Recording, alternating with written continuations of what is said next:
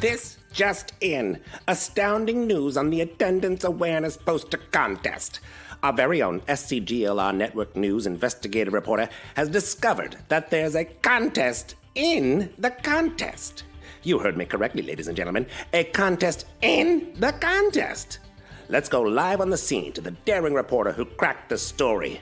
Over to you, Lottie Lerner. Thank you, Sonny. It all started as I was reading the back of the poster template. When I got to this part, my jaw dropped. And I quote Each student can opt in to enter an additional drawing to win a $200 gift card. That's a lot of cheddar. We're talking double Benjamins.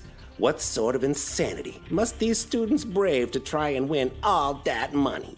For a chance to win, all they have to do is send in a photo or video of themselves describing their completed poster. Unbelievable! It sounds like you're talking about the student becoming the teacher. That's right, Sonny. This is a chance to play teacher with the adults in your lives. Just explain to them and us what you made on your poster, why you made it, and why outstanding attendance is important to you. Some smart and talented kids have already sent in some impressive videos. Let's take a look. This is all about my picture. Every day counts because you go to school and school helps you learn things and learning is very important. I like going to school on time, so um, this is what I like to do. Okay, here's science. Important to go to school. It's good for education. And this is my poster.